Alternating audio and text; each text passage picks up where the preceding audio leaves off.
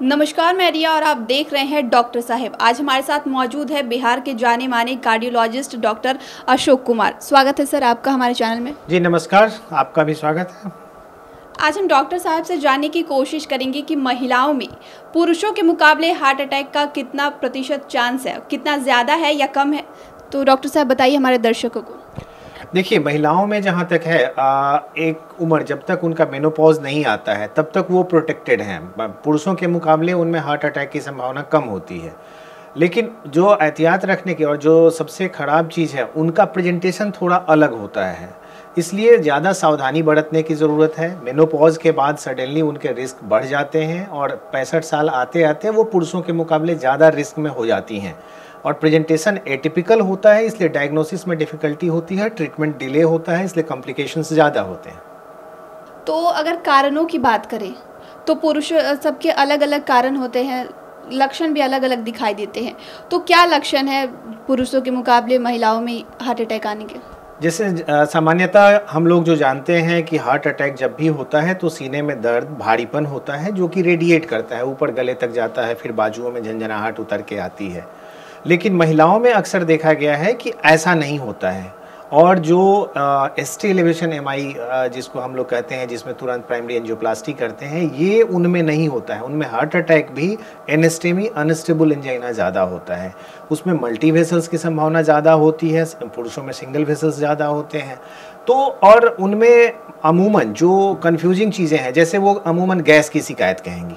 उनमें atypical presentation उनको chest pain heaviness कम होता है, उनको घबराहट होगा, जलन होने लगेगा, गैस आएगी, उसके बाद कहेंगे कि हम जल्दी थक जाते हैं। तो ये ऐसे सिम्टम होते हैं जो कई सारे बीमारियों में होते हैं तो अमूमन वो लोग गैस की दवा खाते खाते डिले करती हैं। डॉक्टर के पास डिले जाती हैं। और एक और भी चीज़ है कि हेल्थ को भी अपने समाज में, क्या इवन वेस्टर्न वर्ल्ड में भी देखा जाए तो महिलाओं के हेल्थ के प्रति सजगता थोड़ी कम है। अगर पुरुषों को थोड़ा सा भी हुआ कोई प्रॉब्लम तो वो तुरंत हॉस्पिटल जाएँगे घर वाले ही उनकी वाइफ लेके जाएँगी। लेकिन उनको जो परेशानी होगी, वो सबसे छिपाएँगे, कुछ नहीं है, गैस है, हमने पुदीन हरा खा लिया, गोली खा ली, इनो खा ली। इसलिए डिले होता है प्रेजेंटेशन डिले होता है एटिपिकल प्रेजेंटेशन होता है, और बीमारी बहुत बढ़ जाने के बाद ही वो हॉस्पिटल आ पाती हैं।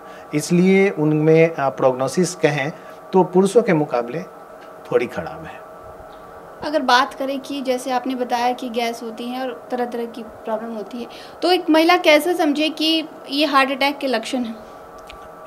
इसके लिए तो जाँच करानी पड़ेगी और उन्हें कब वार्निंग साइन जो रेड फ्लैग साइन की बात करें तो वार्निंग साइन क्या है? जैसे उन्हें रोज़ तो गैस नहीं होता है। तो एक सर्टेन जो गैस आपको कोई काम करने में गैस हो रहा है, वो गैस नहीं है। अगर एसिडिटी की प्रॉब्लम होगी तो वो खाने और फ़ूड से रिलेशन होगा। लेकिन जो हार्ट का होगा, वो आपको एक्टिविटी में होगा प्रेजेंटेशन लगेगा कि हमारा पेट फूल गया गैस हो गई। लेकिन ये यूजुअली एक्टिविटी में होती है। जैसे अभी अब एक पुरुषों में ही अभी एटिपिकल प्रेजेंटेशन आप लोग देखिए खिकी का नाम आपने सुना ही होगा सिंगर को। वो परफॉर्म कर रहे थे वो स्ट्रेसफुल लाइफ में थे और उन्हें गैस हो रही थी। बार बार वो गैस की शिकायत कर रही थी वही हार्ट अटैक है। और वही डिले होने से कल्मिनेशन वैसा ही होता है। तो अगर आपको एक्टिविटी में गैस हो या कुछ काम करती हैं तब आपको कुछ एटिपिकल सिम्टम महसूस हो तुरंत अपने डॉक्टर से मिलें। एक दवाई है डिस्प्रिन लोग कहते हैं कि अगर किसी को हार्ट अटैक आया है और इसको खिला दिया जाए तो तब तब तक मरीज़ को अस्पताल पहुँचाया जा सकता है। तो ये कितना सच है और कितना गलत है? और अगर सही है तो कौन से, किस टाइप के मरीज़ को ये हम दे सकते हैं? देखिए इसमें सच्चाई भी है और जैसे कि कुछ चीज़ों को एग्जैगरेट किया जाता है तो एग्जैगरेशन भी है। ऐसा नहीं है कि वो हॉस्पिटल पहुंचाएगा। लेकिन हम स्टडी की बात करें तो सिंपल अगर हार्ट अटैक हुआ है एस टी एलिवेशन एमाइज की बात करें, जो कि एक्यूट हार्ट अटैक होता है, उसमें देखा गया है कि अगर टाइमली डिस्पेरिन का गोली मतलब एस्पिरिन 300 मिलीग्राम अगर ले लेता है चबा के तो up to 20 to 30 percent chances हैं कि उसके ब्लॉकेज खुल भी जाए। तो ये बहुत बड़ा चीज़ हुआ, एक 10-20 पैसे की गोली अगर 30 परसेंट लोगों को सेव कर रहा है तो बहुत बड़ी चीज़ हुई। उसके बाद थ्रम्बोलिटिक एजेंट आते हैं स्टेप्टोकाइनेज हैं, वो further 22 percent to twenty five percent का कर रहे हैं। तो इसलिए वो अच्छी चीज़ है, अगर सीने में दर्द अचानक होने लगे, पसीने घबराहट हो तो आप डिस्प्रिन की गोली ले सकती हैं और सॉर्बिट्रेट की गोली जो आती है आइसोडिल सर्विट्रेट नाम से मार्केट में अवेलेबल है, उसको जबान के नीचे रख के हॉस्पिटल जाएँ तो आपको टाइम मिल सकता है। तो आप हमारे दर्शकों को, जाग, दर्शकों में जागरूकता फैले इसके लिए क्या टिप्स देना चाहेंगे? सबसे जो अहम है बार बार हर चीज़ में एक ही बात होती है कि अपने, अपना स्वास्थ्य का ध्यान रखें, अपने खान पान का ध्यान रखें तो आप स्वस्थ रहेंगे। ये सब चीज़ें इलाज तो बाद में आती है। हमें फोकस होना चाहिए कि हम बीमारियों को होने के पहले रोकें। इसीलिए हमें, लोगों को नहीं इवन स्कूल लेवल से हमें ये हैबिट डालनी है।